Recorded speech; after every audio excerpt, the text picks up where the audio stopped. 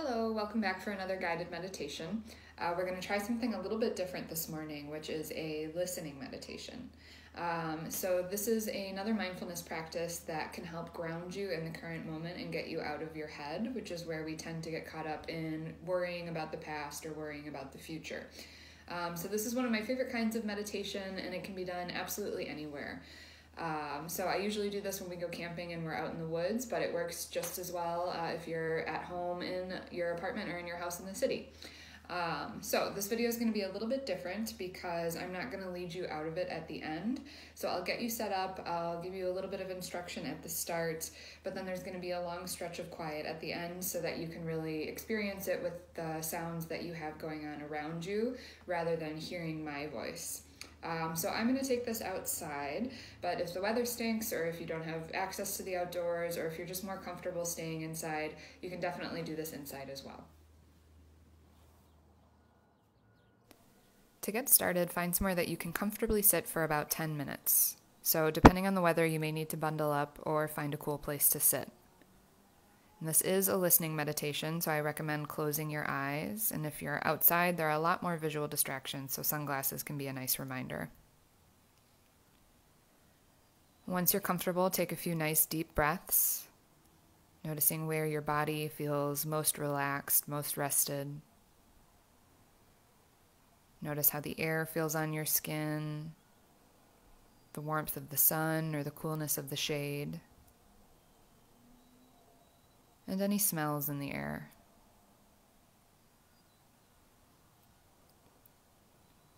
Now start to notice the sounds around you.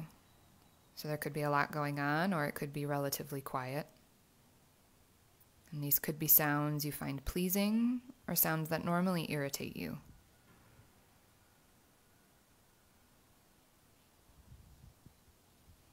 Trying to let go of your emotional reaction here. So rather than thinking, I like that or I wish that would stop, try simply naming the sound.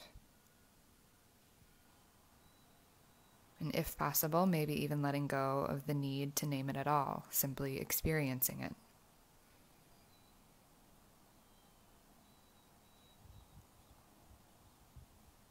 Your thoughts will likely wander, and that's okay. When you notice this happening, tune back into the sounds around you.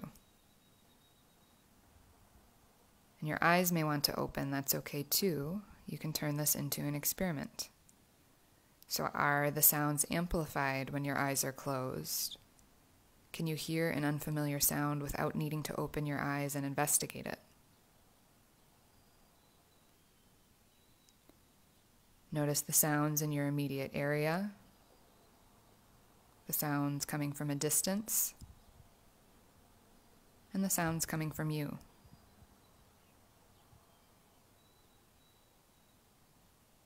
Notice how you move around in space based on what sounds you focus on.